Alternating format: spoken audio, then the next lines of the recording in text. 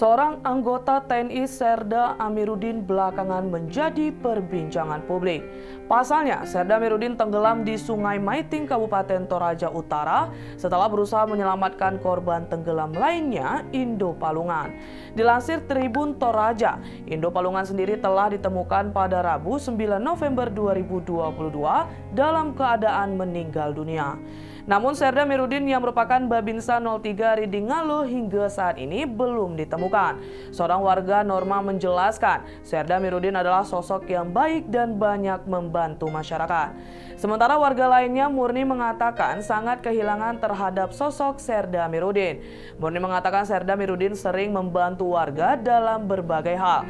Tak jika banyak warga yang mengenalnya. Diketahui bahwa Serda Mirudin hanyut di Sungai Maiting saat hendak melakukan pencarian terhadap Indo Palungan yang sebelumnya tenggelam di sungai yang sama. Hingga Jumat 11 November 2022, proses pencarian masih berlangsung namun belum membuahkan hasil. Ikuti terus berita menarik lainnya. Jangan lupa like dan share seluruh akun Tribun Medan.